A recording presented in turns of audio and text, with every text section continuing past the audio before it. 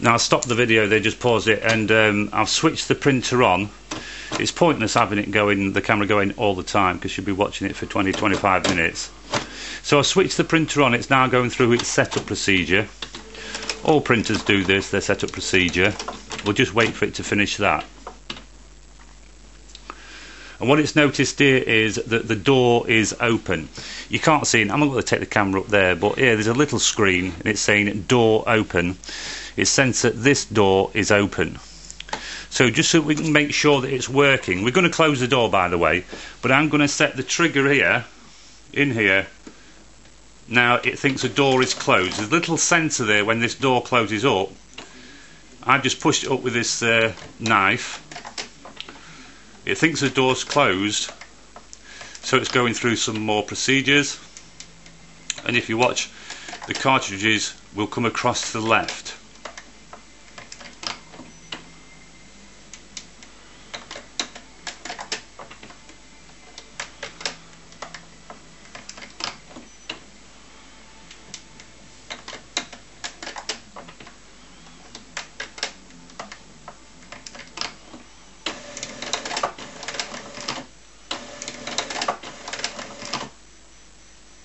This is quite normal for any printer. If you just put cartridges in there normally, that would have happened. Now the printer's ready to print actually. It's going to cross to the left because I've got the sensor pressed in with a knife.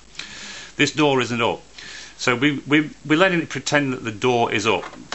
So what we're going to do is let you see it printing like this and then show you how to put the door up and all get everything into place. But we're folding the doors in and what I've done under here, I put a local magazine in. So what I'm going to do, I'm going to scan it.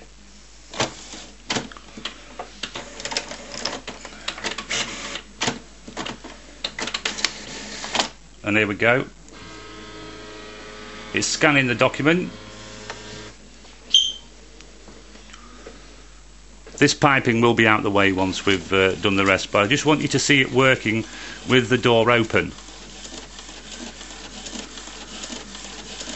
Printing at a good speed and the printing quality is absolutely amazing. It's an amazing printer good speed. The quality when it comes out is excellent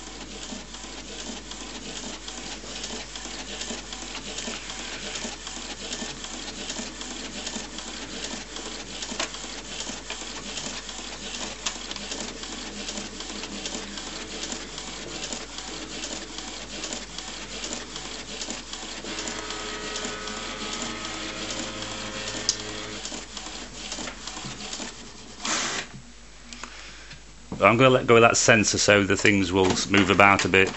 But if you look at that, that's a scan of a local magazine and the print is absolutely perfect. You've seen it printed with the door open, so you don't want to be leaving it like that though, do you? So what we're going to do, we're going to do it with the door closed. Now the door sensor is in here, a little slot. This bit down here on the left, you can just see it with my finger. I'll just turn around a little bit. That there presses into this gap here so it knows the door is closed. Now luckily on this one we don't have to put any paper in or anything. All we have to do is get the piping, bring it across like it is in there and close the door up. Now don't go too hard. Push this side that I've got hold of now with my left hand here. That's that now it thinks the door is closed.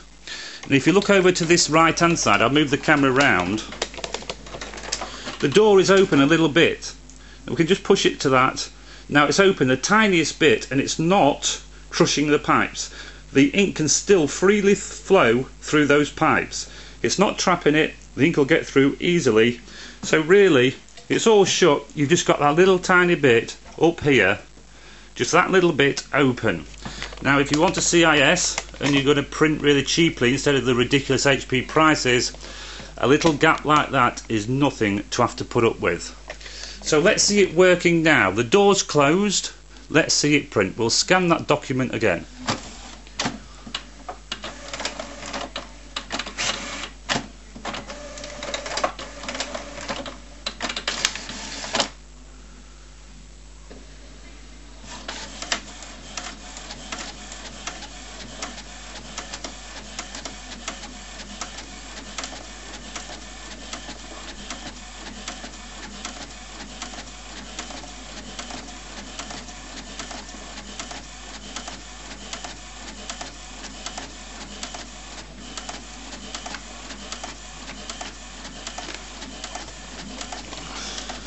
And there it is printing out again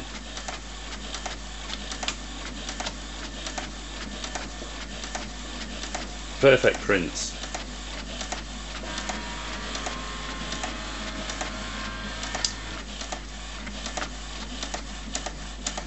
So we know that it's all working perfectly okay, but carry on watching because I'm going to point a few right, things what out. to watch out for. Now it monitors the cartridges and obviously it'll start thinking the cartridges are empty. It'll come up with a notice saying ink running low or this cartridge is depleted. All you do is click OK to continue. You can use these cartridges for a very long time. They will eventually wear out and you'll have to change the cartridges over, but I'm talking a very, very long way down the line. These are going to print for a very, very long time. Superb printing, you won't get any problems. If it ever gets to the stage where you do get problems with cartridges, just get in touch with me, but it is rare. The cartridge will last a tremendously long time. So don't forget, low ink or depleted message means just press OK to carry on printing. A couple of other things, you've got to make sure that your bottles here are on the same level as your printer. You can't have them up here or the gravity will pull the ink through and it will leak all over the printer. Don't forget to put your air bungs in like this. There's an air bung for each one. You leave the small, the big plastic one in the bottom and pull out the small one at the top and place your air filters in there. They let air in but won't let the ink out if you accidentally knock it. Now you will get bottles of ink. Your CIS will be about this full of ink when we send it. You'll also get bottles of ink making up to a total of 100 ml of each colour so you'll save an absolute fortune on printing costs. It's something like, I don't know, about 30p equivalent per HP cartridge when you know full well they cost between 12 and 15 pounds each so massive savings my telephone number will be on at the end of this uh, film and also the website the website's not quite ready. It will be ready soon well before the end of February. Thanks for watching